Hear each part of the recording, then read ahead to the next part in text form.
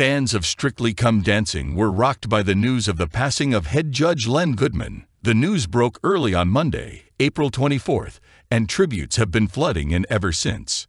The Mirror reported that the Strictly Come Dancing performer, who was very popular, has died after being diagnosed with bone cancer. According to the article, Len passed away on Saturday night at the age of 78 while residing at a hospice in Tunbridge Wells, Kent. Jackie Gill, Len's agent, confirmed the news in an email to clients today, writing, It is with great sadness that I announce the passing of Len Goodman. He died peacefully at the age of 78, a beloved family man who will be much missed by his wife, children, and grandchildren. Immediately, fans and celebrities alike began receiving heartfelt tributes. Former Strictly Come Dancing contestant and Channel 5 news reporter Dan Walker paid tribute to the late star, calling him a incredible man and an extraordinary talent. Len Goodman was a wonderful, warm entertainer who was adored by millions, said News Director General Tim Davie. He was loved by people of all ages and was treated like family by all. Len was crucial to the success of Strictly.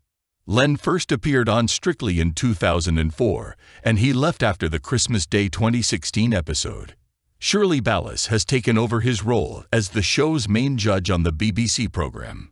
According to The Mirror, Goodman got into dancing at the age of 19 and went on to win several events, including the British Championships in Blackpool before calling it quits. Before announcing his retirement in November of last year, he also presided over the judging panel on the American version of the show, Dancing with the Stars, for more than 15 years. He previously stated his desire to spend more time with my grandchildren and family in the UK. Len said in 2019 that he had surgery to eradicate skin cancer, urging his audience to treat the disease seriously. A photo of him pointing to a bandage under his hat was released by the Melanoma Fund, an organization that educates the public about the cancer. According to the caption, the ex-BBC Strictly Come Dancing judge was playing a few rounds with our ambassador Paul Way at the Grove, a sun protection accredited club, and revealed he has just had skin cancer removed. His hope was that this picture would get people thinking about the problem.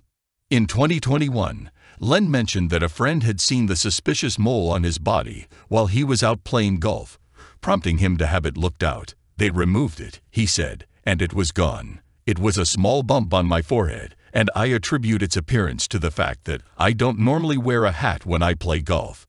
Len told his loved ones, but not the BBC, that he had malignant tissue removed from his prostate gland in 2009. He went into detail about his four days in the hospital and subsequent weeks of rest and rehabilitation. He said, Men, probably more than women, tend to ignore their health. This was directed for middle-aged men, and he urged them to seek frequent checkups.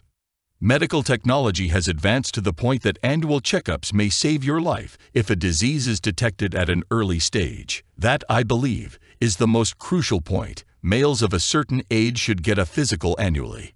Funeral will announce soon. Thanks for watching.